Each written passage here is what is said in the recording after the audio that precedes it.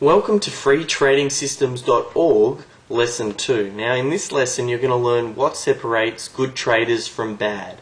But I, again I just wanted to remind you that each lesson builds upon what you've done in the previous chapters. So if you haven't yet completed the assignment from lesson 1, which was pretty simple, I want you to stop this video now, go back, complete lesson 1 before moving on to today's lesson.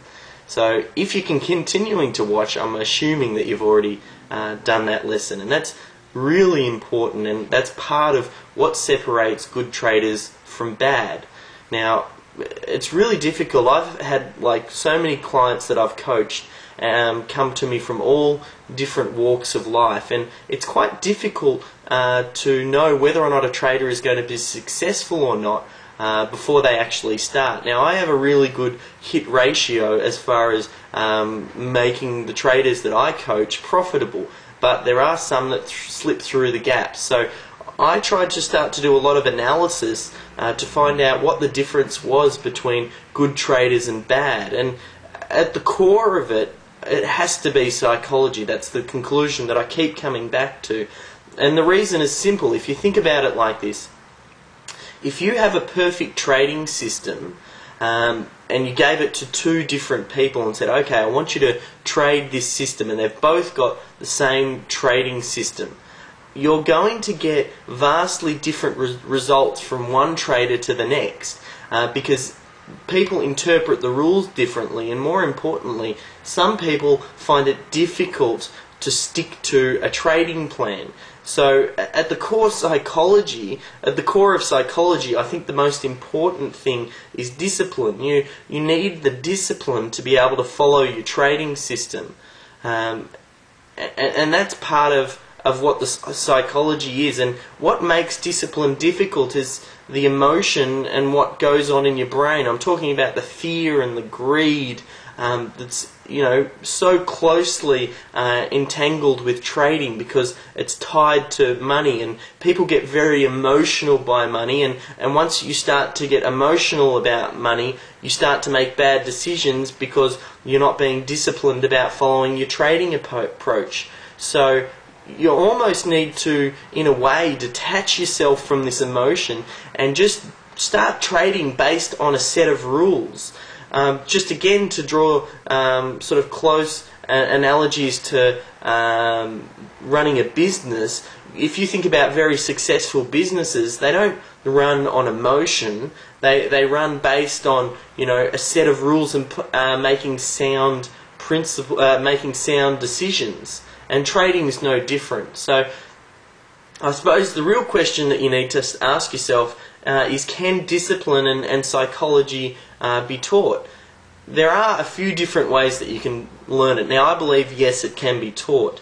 Uh, the problem is, a lot of traders, what they'll try and do is they'll let um, the, the market, um, no matter what market they're trading, they're going to let the market try and teach them that, that discipline that they need. But the way the market works is um, it, it, it will reward you not necessarily for taking good results. It's known as, as random reinforcement. Now, I do talk a little bit more about that uh, just down below when you, you work through this lesson. Uh, but just, I suppose, to give you a small snapshot, the market, when you're trading a system, um, let's say that you decide, oh, I'm going to break the rules just this once and I'm not going to follow my system. Um, the way the market works with random reinforcement is uh, sometimes you're going to be rewarded for that that bad action. You're going to be, you know, you might make a small profit uh, from not following your trading system, and in the and sometimes you will make a loss. So you're going to get mixed results. Sometimes you'll get re- rewarded for um, not following your system, you know, by a small profit, and sometimes you'll get punished for not following your system by losing some money. But the difficulty comes as far as working it out in your head is concerned is that you're you're getting rewarded for taking bad um, a bad action. So you need to not let the market be the one that teaches you about psychology. If you leave it to the market, um, you, you're never going to learn the discipline that you need to, to follow your trading system.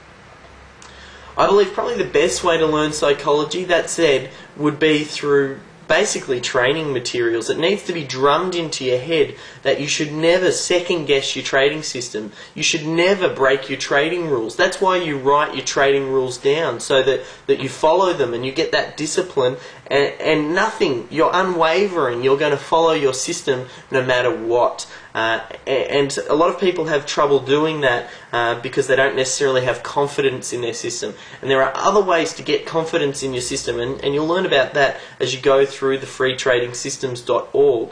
But the first step we need to make sure is you need to get your psychology right and get it drummed into you that you need to follow your system. And I think the best book that really illustrates getting your psychology right is a, a book called The Way to Trade by John Piper. It's it's got a foreword written by Dr. Alexander Elder, so you know that it is a, a good book. So I, I, definitely think before moving on to uh, the next lesson, uh, get yourself a copy of uh, The Way to Trade, work through it, make sure that you understand the importance of following your trading system, and also as part of the the um, lessons that you have to do or the things that you have to do, just scroll down to the bottom of this page and you'll see as part of one of the little action plans that you have to do for this lesson um, is I want you to drum into yourself and, and you need to say it and mean it that you're going to follow your system no matter what. So once you've done that and you've purchased the way to trade, worked through that, then I suggest you move on to the next lesson and I'll meet you in the next lesson.